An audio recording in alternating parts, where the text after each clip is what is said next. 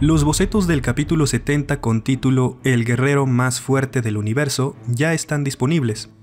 En este capítulo veremos el deseo cumplido de Granola que fue ejecutado tras una serie de condiciones. En los primeros bocetos, el dragón le dice a Granola que solo puede convertirlo en el mejor guerrero del universo con una condición. Sin aceptar esta condición, el dragón puede fortalecerlo, pero no puede darle una fuerza que sobrepase su potencial latente, lo que no será suficiente para hacerlo el más fuerte de todo el universo. Ya que Granola solo está interesado en ser el mejor, acepta las condiciones, sin embargo no sabemos cuál sea esa condición. Mientras tanto, Bills continúa enseñando a Vegeta el Hakai. En el primer intento Vegeta destruye una roca y es corregido rápidamente por Bills, dado que esta técnica es incorrecta, pues no solo está rompiendo algo, sino se trata de borrarlo por completo del universo. Es por eso que Bills le pone un ejemplo, creando un auténtico Hakai. Tras ver esto, Vegeta finalmente logra hacerlo, destruyendo una pequeña roca.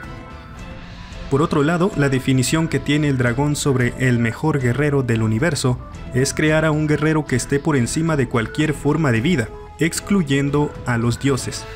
Es decir, por el momento el potencial que tiene Granola solo será capaz de superar el poder de los mortales, mas no el de los dioses como Bills.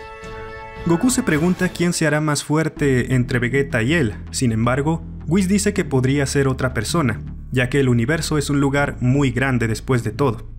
El pez oráculo dice que el mejor del universo aparecerá muy pronto, y Vegeta responde que de seguro será él. Solo espero que no se le haga realidad, pero ya saben, de otra manera. Volviendo al planeta cereal, finalmente vemos el nuevo aspecto de Granola, quien ahora tiene el cabello mucho más largo y comienza a probar su nuevo poder.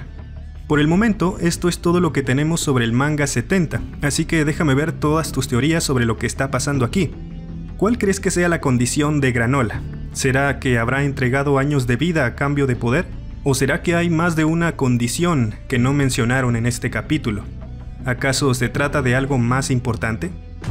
En fin, yo soy Tadashi y nos veremos hasta la próxima.